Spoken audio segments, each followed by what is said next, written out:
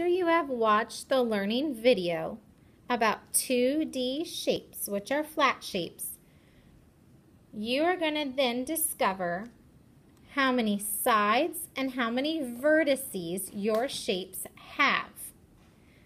Sides are the straight lines. Vertices are the corners, the points where the lines come together. You learned about that in your video. Now you need to look at a circle and decide how many sides and how many vertices. Look at a triangle. Count how many sides, how many vertices. Look at a square, a rectangle, a hexagon, and a trapezoid.